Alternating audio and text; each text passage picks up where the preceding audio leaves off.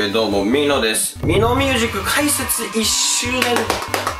ありがとうございます。いや、本当にね、もう皆さんの、えー、応援のおかげです。もう日々ね、皆さんのコメントとかにね、支えられて、モチベとか、えー、もらってます。まあ、今日はなんかちょっと節目ということでですね、うん、あんまり、あのー、考えすぎずに、ラフになんかつらつらね、思ってることを、え述べていけたらなと思っています。はい。ミノミュージック180本ぐらい動画も出たんですかね。なんか、振り返ってみると、大きい数字な気がしてきちゃう。うん、まあでも1年ね、やってたらそんなもんなのかな。最最近ね、あの、すごくね、モチベが高いんですよね。すごく YouTube やってて楽しいです。うん、なんかというのも、まあ1年ぐらいやって、ようやく、感覚をつかめてきた感じがあるんですよね、このチャンネルの。なんだろうな、やっぱ、解説当初はすげえもうあの行き当たりばったりでやりたいこともあったらもうすぐ動画撮るみたいな感じでやってたんだけど、まあね、やりたいことやってるって部分には全く変わってないんですが、なんだろうな、なんかあの、目標ができたんですよ。目標。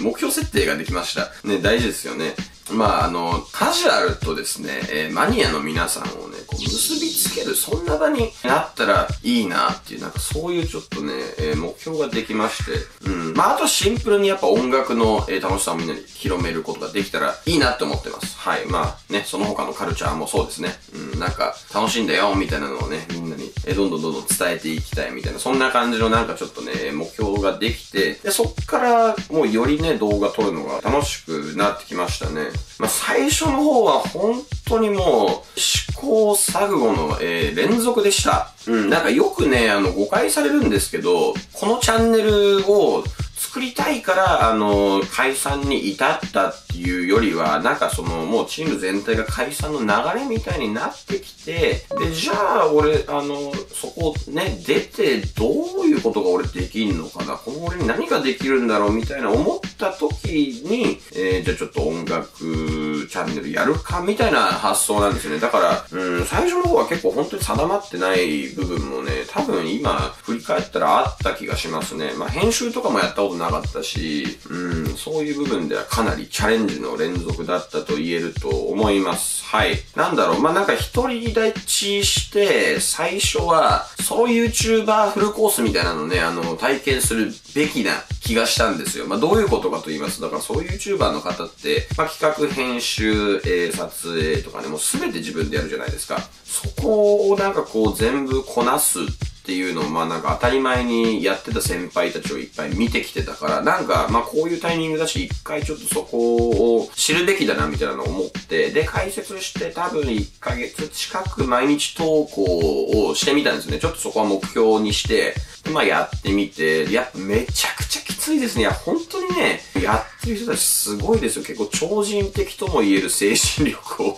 皆さん持ってるんだなっていうのは思って、まあ僕はもうすぐそっからね、もう早々に挫折して、本当にね、その YouTube フルコミットみたいな感じのライフスタイルになるんですよね。もう、ね、寝ても覚めても YouTube みたいな。うん。まあね、それ全然いいんですけど、まあ俺もね、まあもう何年も YouTube やってるから全然そこの部分の精神的負担はないんだけど、やっぱりね、楽器が弾けなくなっちゃうんですよ。で、楽器弾けない、作曲ができない、本も読めないみたいな。ね、なんかそこが結構しんどくて、まあなんかバンドとかやる上でもね、やっぱりね、あの、ちょっときついなっていう時がやっぱり出てきちゃって、じゃあ、あの、マイペースな感じにしてこうかみたいな感じで。まあ今だいたい月15本ぐらい出してるけど、うん、まあこれぐらいが今割となんかカンファタブルなね、リズム感なのかなって思ってます。まあなんか変わるかもしんないですけど、まあ今はこんな感じでちょっとやらせてもらってて、ペース配分みたいなところも感覚が分かってきた気がして、まあでも1年かかりましたね。うん、やっぱり甘くないですね。1年ぐらいかかって、ようやくこのチャンネルをやっていくってのになんかあの、まあ体が慣れてきた感じはあります。はい。まあ、なんか、あと、あのー、まあ、モチベ高いっていうところで、なんか、気楽なアウトプットの場としてサブチャンネルとかあったらいいなとかも思ったりするんですけど、まあ、なんかね、チャンネルの規模自体がまだ全然そんなに大きくないから、まあ、今、すぐに作るってことは、まあ、ないと思うんですけど、なんか、たまにね、あったらいいなとか思うんですよね。もう、あのー、すっげえラフになんか一曲だけ語るとか、なんかアルバムね、一枚だけ語るとか、なんかそういう、なんかね、ふと思いついてするんですよね。あ、なんかここ、この曲のここめっちゃ好きだな、みたいななんか思いついたりとかすると撮りたいみたいになるんだけど、でもなんかそれだけの動画別にね、見せてもな、みたいなのも思っちゃったりするし。まあなんかでも、あの、いろいろ本当に新しいことチャレンジしたいなって思ってますね。はい。めちゃくちゃ本当に何も考えないでラフに話してるな。